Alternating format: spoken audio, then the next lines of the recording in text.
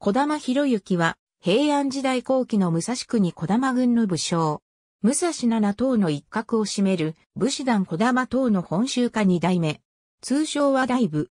小玉大部博之は小玉党の当祖である有道小玉これ行の嫡男として生まれ、小玉党本州家二代目となった武将である。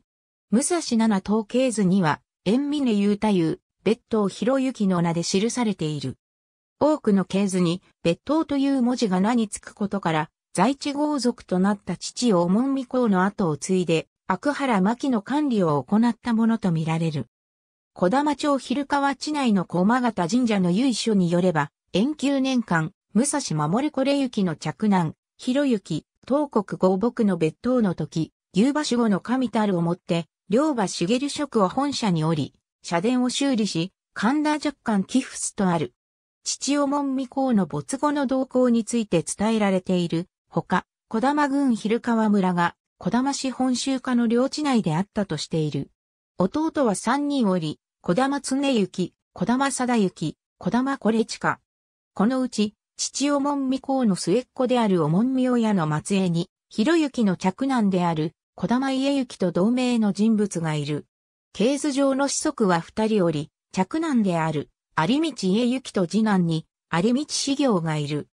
系図によっては、三男に元行とあり、その元行の子は、マシモシを名乗ったとあるが、これは語伝と考えられ、有道修行の四、男が元行であり、彼がマシモシの祖である。広行は、永宝3年9月に起きた後3年の役に参戦していたとされ、伝承では、玄八万太郎義家の副将軍として、清原家平、清原竹平軍と戦ったとされる。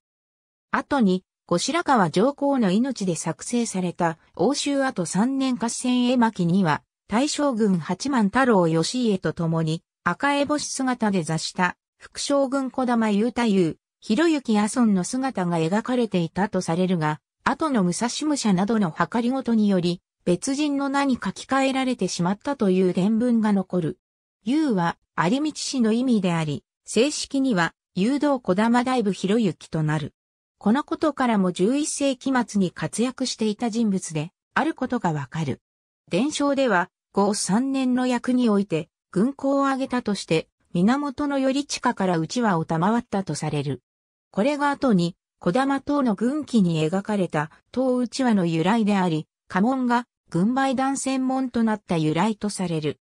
小城幸平置文によれば、欧州征伐後に広行と弟の雄三別当、太夫金品は、小玉軍を屋敷として居住する様に命じられ、広行は、小玉、日歳の両軍のほか、公家、村岡、押しなどを領有したとされる。